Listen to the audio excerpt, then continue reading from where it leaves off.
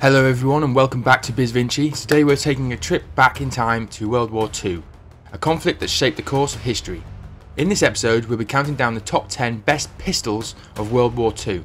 These sidearms were trusted by soldiers on both sides of the conflict and played a crucial role in the war.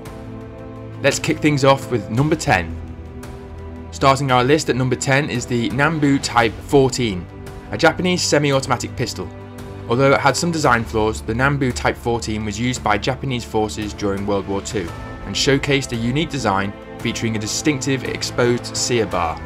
Despite its drawbacks, it earns its place on our list for its historical significance. In the ninth spot we have the TT-33, a Soviet semi-automatic pistol. It was a rugged and reliable sidearm used by the Red Army during the war, the TT-33 was known for its simple design and robust construction, making it a favourite among Soviet soldiers.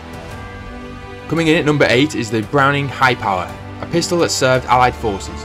Designed by John Browning and later completed by Dieudonné Saive, this 9mm semi-automatic pistol boasted a high-capacity magazine and was known for its reliability.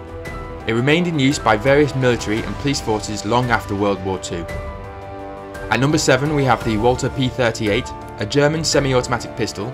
It was one of the first locked-breeched pistols to see widespread use and offered an innovative double action or single action trigger system. The P-38 was a symbol of German engineering during the war. In the sixth position we find the iconic Beretta model 1934, an Italian compact semi-automatic pistol which was issued as a service pistol of the Royal Italian Army beginning in 1934. As the standard sidearm for the Italian Army, it was issued to officers, NCOs and machine gun crews. It is chambered for a 9mm Corto, more commonly known as the .380 ACP. Taking the fifth spot is the FN Model 1922, a Belgian pistol that saw action on both sides of the conflict. Known for its accuracy and reliability, this semi-automatic pistol was used by the German military, as well as other Allied forces who captured and repurposed it. At number 4 we have the Luger P08, another iconic German pistol its distinctive toggle lock action and sleek design made it instantly recognisable.